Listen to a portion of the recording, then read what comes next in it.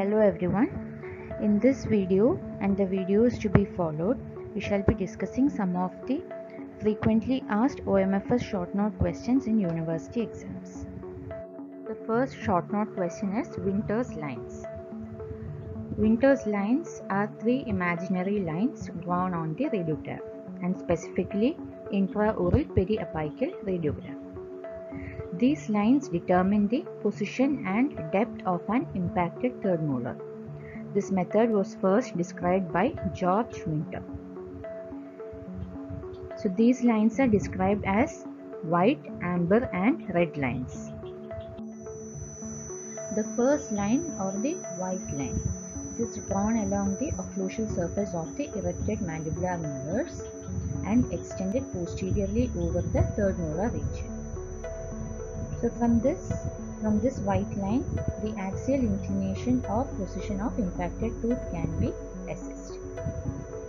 The white line also provides an indication regarding the depth at which the tooth is lying in the mandible when compared to the erupted second molar. So basically it indicates the difference in occlusal levels of the first, second and third molars. The second imaginary line or the amber line. It is drawn from the surface of the bone lying distal to the third molar to the crest of the interdental septum between the first and the second molar. The amber line indicates the margin of the alveolar bone enclosing the tooth. Hence, when soft tissues are reflected, only that portion of the tooth shown on the film to be lying above and in front of the amber line will be visible, while the rest of the tooth will be enclosed within the alveolar. So basically, it represents the height of the bone level in which the third molar is encased.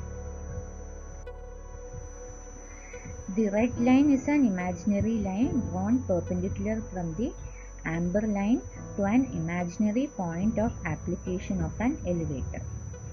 Usually this point is the cemento-enamel junction on the mesial aspect of the impacted tooth. Unless it is distoangular impacted tooth where the application point is the distal cemento-enamel junction. The red line indicates the amount of bone that will have to be removed before elevation of the tooth. That is the depth of the tooth in the jaw and the difficulty encountered in removing that particular tooth can be assessed using red line. With each increase in the length of the red line by 1 mm, the impacted tooth becomes 3 times more difficult to remove. This is opined by Howe. If the red line is less than 5 mm, then the tooth can be removed under local anesthesia. Anything above 5 mm, the tooth needs to be removed under general anesthesia or local anesthesia sedation would be more appropriate. That's all for this video.